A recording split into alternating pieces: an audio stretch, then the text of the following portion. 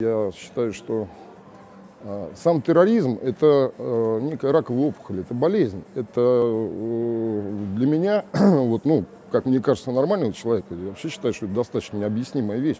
Это показание некой э, слабости и трусости, прежде всего. Боец должен быть на поле боя, а не в подвалах.